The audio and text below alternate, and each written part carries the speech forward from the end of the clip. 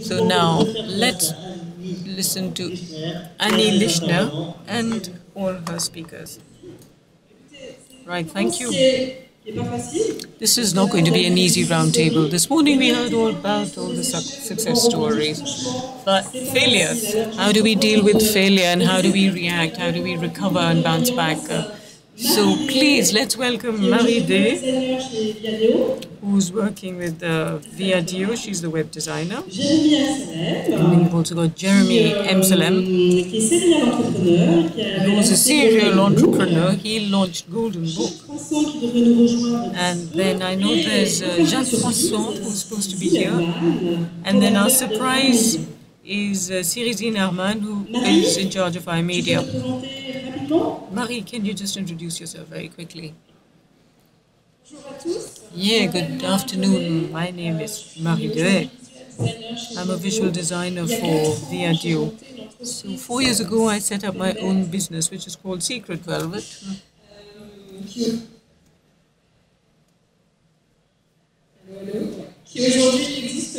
Which has now disappeared. It was an online um, shop with a physical brick and mortar store as well. Good morning, good afternoon. My name is Jeremy Emsellem. When I was still in school, I set up Golden Book, which was a very strange sort of e um, e-shop, you know, where you sold grannies who knitted their um, their bonnets and their scarves. It worked really well. And now I'm with Bitcoin, which has nothing to do with it, and an app mobile. A mobile app, sorry. Cyril. Cyril Zimmerman. When I was in school, I set up Hi-Media, but that was long before. And uh, it was a payment platform for HiPay, which is one of the providers for uh, PrestaShop. So let me not be a hypocrite. I, I can't say that I'm ashamed of what I did. I'm very proud of it. Uh, and uh, the company has been, uh, you know, listed for 15 years uh, now. In the long period of time, and which is something which is a, a, source of pride for me. There were moments, you know, when we went through a lot of uncertainty and doubt, and we could have had a, a, a definite uh, setback.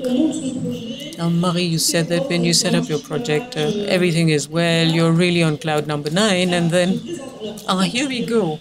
Here's our last speaker. This person is from, this is Jacques Froissant from Altaïde. Good afternoon. My name is Jacques Froissant, and I'm the founder of Altaïde, which is a recruitment agency dedicated to e-commerce and the web. I'm also co-founder of Shake, which is an e-conference in Marseille. Right, so Marie, you were saying everything is brilliant when you start. So tell us about your project. How did you set it up and um, what happened? So, Secret Velvet, it took me just two months to set it up, including the internet site.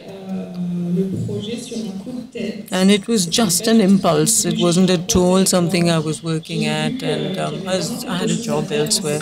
But I just felt that there was a lot to be done in this field, and I was dying to learn. So I just went into it mindlessly. Now, with the hindsight, I feel perhaps I should have taken my time. However, I regret nothing. So it was an e-commerce solution, which was slightly strange. And then I went on to PrestaShop, and in less than a month, I had launched the site. Uh. And in the second month, the press was already talking about it. I think I just went too fast. It was a blitzkrieg. And you, for you too, was it all, all perfect to begin with? Because you were really impulsed by media. You said it's very good, but it, not too much of it. Well, media is useful because it replaces television, but it doesn't help sell. Huh? I'm sorry, but the microphone doesn't work very well.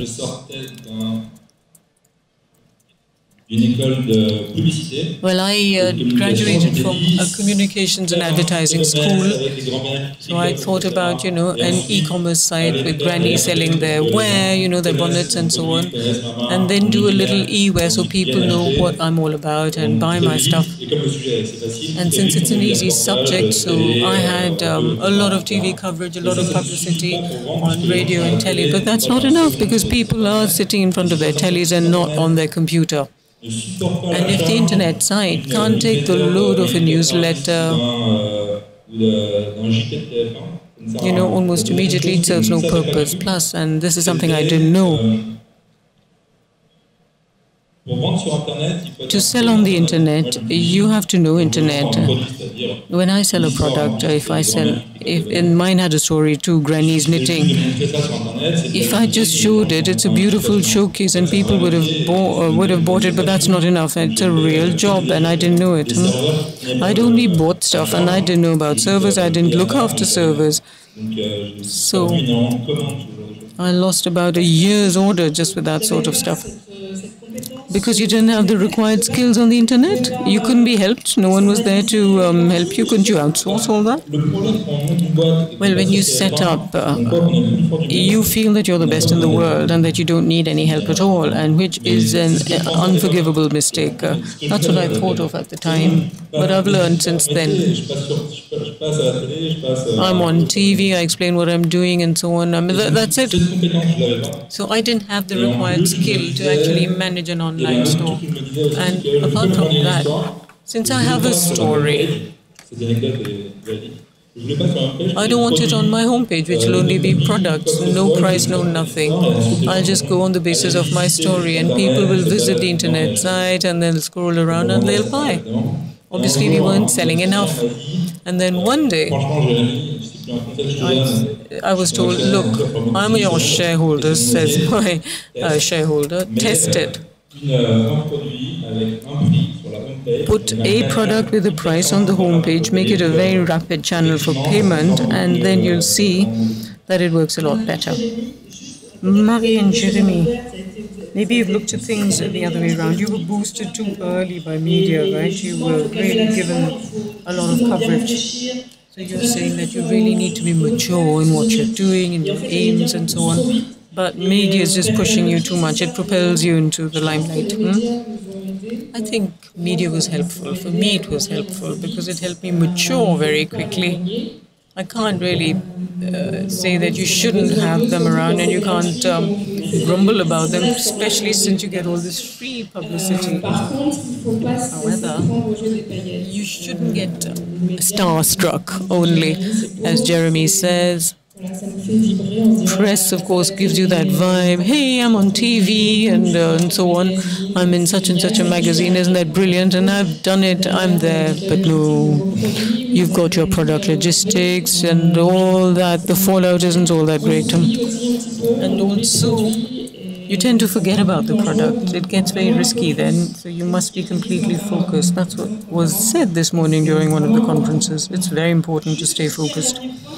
One last point, both of you. You were all alone, right? Yes, I was, says Marie.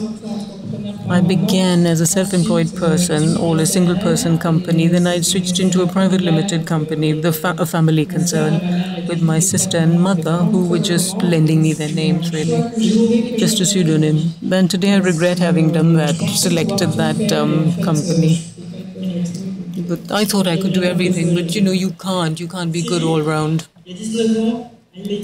All right, Cyril, 19 years ago with your Hi-Media when you started, was it, what, how was it that you started? With doubts or with the magic in your eyes? That time it was so easy, there were no major stakes. I was a student and there was um, no problem because there was no market. In 2004, e commerce represented 1.2% of all sales in France, whatever be the distribution channel, magazine uh, stores or uh, or e-stores. So it was much. It was just peanuts. So my the first advertising campaign was for Internet Explorer 2 version 2. And I sold the same thing for 12 months running because they were the only broadcasters, the only advertisers. And with HiPay in 2003, it was virtually the same thing. It was uh, a means of payment on uh, internet. It wasn't all that. It, it was at its beginnings. There was uh, the market was all ours. I mean, there wasn't much to it. And uh, Apart from that, I represent Acsel, and PrestaShop is also a member of Acsel. It's one of the board members. Now, Acsel is a startup. It's for medium-sized companies. There's some big groups as well, and we share this uh, digital transformation. And, and, that's where you either make it a hit or you just uh, go out with a whimper, you know. This is something that changes a business which is traditional your business that you've started, let's say four years ago, and it, so it's to switch, go from computer to mobile, right? So to answer your question about uh, freshness, well, I dried out a bit in 2003 because this talent, freshness, this uh, taste for danger, and then financing, which was provided actually by the boom and helped me go far, farther. I didn't have all that later. We were, you know, 180 people over 12 countries, and um, you know, we were listed. And um, two hours, two years later, we had cut down. We didn't have much money. In fact, we were running up big debt. So we were down to 45 people, and so we were wondering if we should stop altogether and pull out, because sometimes the failure gets too complicated to handle you're completely drowned or just hang on. But since I'm stubborn, I didn't give up at all. And today I have no regrets, no regrets. But, but it's true that I lost a lot of my uh, peace of mind because I decided to hang on in there. I just went at it because I was convinced that all these changes that you see in fashion, that you see on e-commerce and everywhere, on EY's uh, mobile and so on, they take a while. And as entrepreneurs, you sometimes need to anticipate all this, anticipate trends, which will finally catch up with uh, the masses, be it B2B or B2C. Mm you have to be patient and you have to hire. So patience, right? So when you hire people, is failure something that you look at as well? Particularly the way this person reacts and the way he bounces back. Or does that put you off? Yes, I do take a look at failure, but not to uh, take people off my shortlist. On the contrary. I take that very positively. You know. Look at Bill Gates now. When he was at the head of Microsoft, each time he asked candidates if they'd ever known failure, most of them said no. But he went for those who did, so that's a concept that's remained. I'm, apart from that, I need to understand. I, what is the candidate thinking of his failure? How has he analyzed it? What are the lessons he draws from it? It's not the failure itself that I'm uh, interested in, but the way he's going to discuss it with me and the way he analyzes it, he or she. Now, these two people in startups, they are fairly conventional failures. I've been recruiting people in startups for nearly 20 years, and there are some that just don't function, they don't run. I have seen quite a few. I've even lost money when I backed them. But there are always um, two phases phases. One is when it goes too fast, and then by the time you mature, it's a bit too late to take the right decisions. Or it's a market context which is bad, or what I also see is that people don't really analyze their setback properly. You know, in France, you can't raise money, there's no one willing to back us, and so on. And so they refuse to acknowledge their weakness. And despite uh, these cases, there are others who always succeed, right? So I feel that failure can be a source of, it can be positive, but you must know how to take your, uh, look at it in retrospect. Marie and Jeremy, after that initial effervescence and after the initial cloud number nine, when you got back to earth and when you were seeing the bitter truth, Can you tell us when it happened to, for either of you? Well, for me, it was in the middle of the second year, virtually the third year. I would say it was solitude. I was all by myself. I wouldn't say that I'd lost interest. I felt alone because I had to fight for everything to exist, to fight against uh, the tax administration, to get myself known, to send my parcels. You know, I wasn't working with the post. It was, I'm only human and it ruined my everyday life. I lost my creative touch and my sales uh, fell. I didn't feel like fighting anymore, so I just started giving up little by little. That lasted for about a year, and I, uh, it began with shutting down my shop in Bordeaux, which I uh, managed for nearly a year by myself, as well as the internet site. And it just got on my nerves, so I shut it all down and I wanted to uh, bounce back. It lasted six months, and I thought, let me just refocus on uh, internet sites, those that work. But I never could because, you know, all the daily problems just gathered up together, starting with, you know, taxes, an agency that made me lose my listing on PrestaShop. So there were lots of things. Some of them were quite amusing. So, as I said, that's enough. Let's stop. Let's pull out while the going's good. So, I shut up shop, the brick and mortar, the site, and that's how it ended. So it was loneliness, problems, plus, uh, you know, all the daily hassles. Now, you said I was very bitter, you know, when you have to fight all the time, fight all the time for everything. You've got competition, criticism, judgment, uh, plagiarism, hatred. So that's tough. It's like a war, right? You're, you're losing a war. Yes, it was very tough. You know, because you're losing face. When you're launching yourself, I just hope that you've got a strong uh, personality and a solid head. I would go back into it, but I do hope you have a lot of energy because you need it. You, you shouldn't give up. Jeremy, is that also your uh, reaction? Slightly bitter? Well, you know, banks very quickly said to us, you want to borrow 50,000 euros, and we'd only been around for a year, and we had sold 200 bonnets, mm. and they were willing to lend us 50,000. And at the time, because I was in school, an advertising school like that, not a commerce school. So I said 50,000, that's an investment. I thought of it as an investment, but a bank loan is not an investment, not at all. And you have to pay it back, you see. So they sent, lent it to me really quickly. I had other investors too, you know. If you're not properly advised, it wasn't exactly my case, but let's say I wasn't mature enough. I spent money a bit too quickly.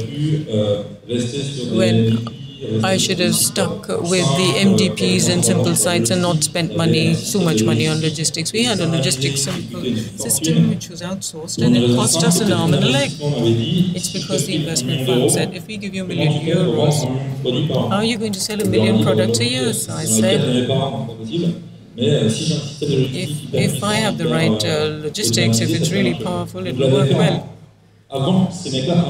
So I did that before the funds actually invested. So I started in preparing the entire machinery. And then finally the funds didn't turn up. And the logistics guy said the U was 30,000 euros. And there's no money coming in. And so there was a mirage also. We were selling these bonnets for 50 euros, you know. That was also a big problem anything at 50 euros, we were too expensive for uh, cheap uh, for expensive ones and no, too expensive for cheap ones. We were not properly positioned. We didn't know where we were. No one knew where we were. So that's what happened. Similarly for scarves, you know, we just doubled prices and everything cost at least 100 euros. Now that works really well. I remember there was a Japanese store, a Japanese shop. Apparently, it's something that does really well in Japan, and they ordered virtually the entire stock of the year.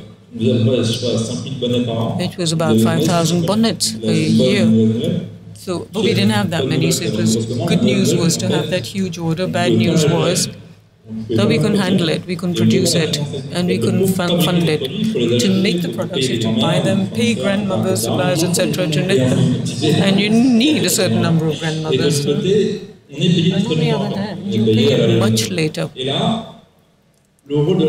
And that's where the bank, where, which was lending you money, they're not willing to uh, lend anymore. They don't trust you. So I'd burned all my boats, you see. I had uh, lost all my credibility. If you don't really need money, don't take it. Just take it when you absolutely need it. Because if not, you lose your credibility and they won't lend you again. It was crazy. I, I went down because I couldn't handle a, a huge order. Now, if you were to do Hi-Media again today, would it be easier or difficult or what? Well, it would be easier not because I'm older and I'm also richer, but there you go. One must realize that all of us over here, we're all very special. We've got privileges. We are exclusive, you know. We, we're here because we love uh, digital. Now, if we were specialized in uh, machine tools or in any kind of industrial uh, component, and if you're working with a company called Berlier in the Poitou-Charentes, then you'd have more of a network than you have over here. So I do agree with you. It's tough, but at the same time, there's this greater freedom, which is just fantastic. You can do anything you like as a self-employed person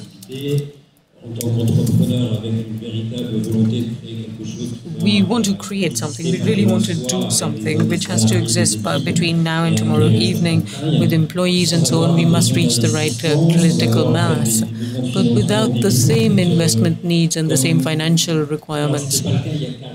Whereas 40 or 50 years ago, you couldn't do it. If you wanted to set up shop, if you wanted to start a company, you know, with let's say industry, because in the past you talked about industry and production and not about services.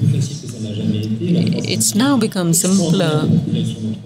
Uh, you know, France is very extraordinary for uh, setting up shop, uh, setting up your own company. Let's stop talking about social costs and about uh, taxes and all that. That's all rubbish, she says. There's a lot of initiative that we all have, which wasn't true even 20 years ago. When I st started media, I mean, I'm realizing it now. It's easier to, to start uh, doing these things now because it's so easy, and PrestaShop is one of the tools. It's there. Financial motor also there. They weren't there earlier. You're not stared at like a, an alien. It's just that you're someone who's part of the uh, trend. People will actually resign from Google and come and join us. So that just goes to show that they feel that this is fantastic. It's a great blossoming of our intellectual and financial capacities, you see, based on just what we do. I think that's an important point. There's a lot of intellectual stimulation and I think that's one of the main themes of Acsel, that association I was telling you about. All that we do has a certain duration, which is very short. It's all very temporary, and so that stimulates you even more. You've got all these stats, you've got a lot of failure rates and so on, but it's a fantastic stimulation because it's uh, up or down, you know, it's that sort of thing. You, you're talking now of mobiles, you're talking of being teleconnected. So things are common and things are different too in ways of doing business. And so I would say the ecosystem has never been so exciting and so good, and we must take full advantage of it. Anyway, it's great to hear you because uh, we are not used to hearing people say that it's easy to do business here. We've got all sorts of administrative hassles, and you seem to be saying, no, go ahead and do it. France is a good place to work. We've got all that we need to succeed. Well, I've just set up a subsidiary in the States, and I was, all I did was fill in of uh, uh, two pages to start my company, and it costs nothing. It's very easy. But in France also, it's quite easy. It'll take about a week, and there's no minimum capital required. You can also be a self single self-employed person, which now is about uh, a system that exists for five or six years. You have financing companies. You've got uh, all sorts of business angels, even the government that funds you. It's easy. It's easy. So there is a public financing also that helps a private uh, financing, especially for small entrepreneurs, and it's not expensive. You can set up your company. But when I was in the game, it, I needed 50,000 francs. So I formed another legal company which didn't require that much money it's what independent uh, merchants used to use at the time because that didn't require a minimum amount of funding. So my um, status, my legal status was completely crazy, and as a result, I ended up paying a lot of social costs later. But today it's much better, so take advantage of it. Thank you. Now, before I talk, go on. You've created, you've set up other companies too, and which are working, and now you have your own hiring uh, agency. What is it that you retain of your past experience? Well, I've never set up a company. I've never established one. I co-founded a startup, but virtually at the same time as Altaïde, and several others since then. And it was just in, on next to French Swipe. I set it up with Christian uh, uh Neveu. I think we made a mistake, but we have a lot to learn of it. Now, French Web uh, uh, went on from length to length because they learned a lot from partnership and so on. We discuss it sometimes. I also learn from other people's failures, not just mine. Just to tell you briefly, Altaïde now is nearly 15 years old. I began in January, in June 2000. And my first year went off really well, and the second one, and the second year when it started, it took virtually six weeks to stop. I had recruited a lot of people, and my turnover had shot up, but, but I was stuck finally with just a single for a trainee and three other people. I had to handle everybody. So there are certain periods like that which are difficult, very difficult to manage. But having said that, uh, I'm very optimistic by nature and quite laid back. I've often been treated as a crazy man. At the time, I had three young children, my wife wasn't working, and I resigned. So I started with nothing. I wasn't even given a golden handshake. And it seemed uh, pretty obvious that I had to do it. Whereas a lot of uh, entrepreneurs over here, you know, you wonder, should I go for it, should I go for it? Uh, Euh, donc, euh, so, pour savoir rester euh, serein, provoquer la chance, just remain cool, and luck comes to you. Euh, and that's how you handle opportunities. You look for them. You have to talk a lot. You have to discuss a lot. And that's what I would advise all of you young people to do. Young in your company, I mean, with young companies. Go and share with others, really. Don't be scared of talking. And don't be scared of thinking that your best idea is going to get pinched up. It'll help you. It'll help you a lot listening to others. Now, what is it that you have learned from this experience? So Mary has changed. She's changed direction. I haven't changed direction. That's my initial training. So um, background. Well, over those four years that were very intense. Uh, I can remember it was like living a full life. It was a major episode in my life. I met a lot of people. I've discovered a lot of different jobs that I would have never thought of before. I would have never thought I could have done those jobs. I learned a lot about myself. It helped me grow. It helped me in my professional life today. So for all those reasons, I want to do it again. To me, failure is not negative. In France, uh, failure is highly negative. To me, it's evolution. It's a logical continuation of something. Failure, pretty much like success, are two things that are very close. So I've learned a lot, and I hope to do it again very soon. Catherine Barba said that you, to be an entrepreneur, you have to be Shiva. You need to have many skills. You have to be flexible, multitasking. You have to be on every field, and you need to have all this energy. In the morning, I'd speak to uh, grandmothers on the phone. In the evening, I will talk uh, to my accountant and the press. So what I learned, where I failed, is I've spent too much. I wanted to manage everything at once, and every, and I was taking all the bad and the good advice, and also all the partnerships I've had. So really, at the beginning, at the, even though it lasted four years. Uh, it's not a big company with 500 employees. At the very start, you really want to focus on your product. And what I'm doing now, whether it is Bitcoin or another mobile application for business cards, we don't talk much to the press. We wait to make sure that things are running smoothly, to all the servers are well backed up, and we move gradually on a step-by-step -step basis. You don't want to take the big leap immediately. But, and that's quite complicated, you have to remain uh, dynamic and uh, I don't finish at work at 7, I finish at midnight. You need to keep that energy going on and the drive. You have to be very fast. Uh, you have to climb the small steps at a very fast pace instead of taking the big leap, otherwise you don't pay attention. You really want to be focused. That's the first thing I learned. Secondly, well, the banks. The, uh, a loan is not an investment.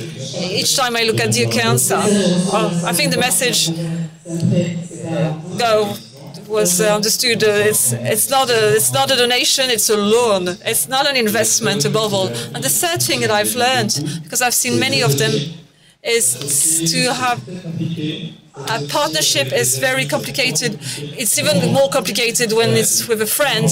Sometimes, you know, I hear people say, well, shall I be on my own? Or if I find some friend or someone I know very well, well, we could partner together, we could team up uh, because I would have more trust in him or her. But when it's a partnership, when things run smoothly, that's great. But when things go wrong, it's a disaster. And a partnership with friends, just, you know, team up with acquaintances because it's the best way to lose your partner and lose your friend and your company, you lose your business, you lose the drive and motivation. And that's it, really. Uh, just some advice here for young entrepreneurs or people in the room who have doubts. Don't have doubts. You should be aware of how, of how lucky we are how lucky we are to be here with you uh, to discuss the digital economy and see what we will do next. See, realize how lucky you are to be in France. When you have difficulties to recruit a developer, think that it costs twice as much on the other side of the Atlantic. So forget, I know you hear a lot of bad things um, in the media and rumors that you hear also in the ecosystems. You should be aware of how, how lucky you are, don't doubt, but never be completely happy with yourself. Jacques, some advice from Jacques. Well, uh, piece of advice I would give uh, to um, add up to what Cyril said: find a mentor, find someone with experience who will help you sort of uh, take some distance and you know, and um, re rebuild your trust in certain things. I've been working with two entrepreneurs and discussing with me and when they exchange with me i can see that they know what what they have to do but just expressing itself and sometimes i confirm it expressing it, it helps them not to doubt and keep moving forward because your ambition as an entrepreneur is very important. So be careful with everything you hear around you the rumors and so on don't keep in mind keep in mind that the e-commerce environment operates differently 10% of growth uh, for several years. No other economic field is of that side because here we're talking about 57 billion. No economic sector has any uh, has a similar growth. So everything you hear is not applicable to e-commerce. So let's are you ready for questions and answer? Questions from the audience? No Oh, yes, one.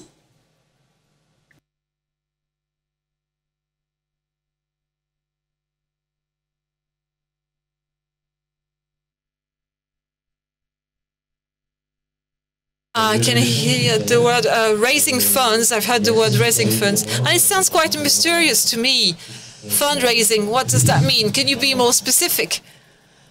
Um, fundraising. Ça, ah, levée de fonds, sorry. Et puis il faut s'exercer.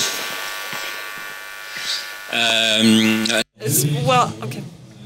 Fundraising is about seeking investors.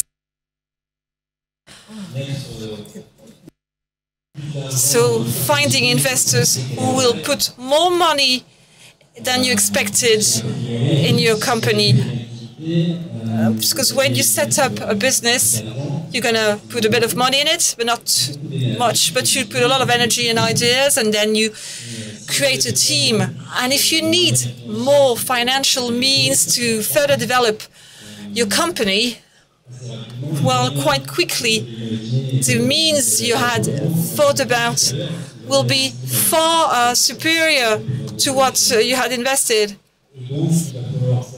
So you have to convince other shareholders that the value of what you've done is not only money related, it's also the money you invested, it's also the energy, the creation, and the teams who've been working on it, and also the turnover, even if the business is starts immediately to be profitable. So the idea is to have financial investors to say that what you set up for 100 is now worth 1,000 because you put a lot of creativity and talent and energy into it. So if you need 200, they will give you 200 for a value of 1,000, although initially you had only given 100 at the start. It's the money you're going to recover in the company by telling other investors, give me the means to make it grow, and in return you will become uh, um, an associate partner in my business. Any other questions? No? So you have to be humble. You need a lot of you need a lot of energy. You have doubts, but it's good to have doubts sometimes to question yourself. Is, do you think um, failure is a learning curve that helps you grow? Oh yes, definitely. Okay. Uh, give, please give a big round of applause to this roundtable, to our guests who are brave enough to come here, and thanks a lot. And God, all the best to you.